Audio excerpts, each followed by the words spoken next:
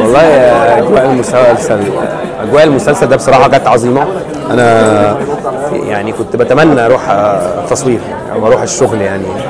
لأن ده فعلا كلنا حابين بعض وجود نجمة زي غادة عادل متواضعة وجميلة ولذيذة بتخلي الروح كلها حلوة. إحنا عايزين نروح عايزين نروح نشتغل. المخرج كمان عبد العزيز النجار ده مخرج رهيب وجميل لك أول مسلسل درامي طويل يعمله؟ ما حسيناش خالص إن ده أول مسلسل ليه. هو شاطر جدا و professional جدا وموهوب جدا.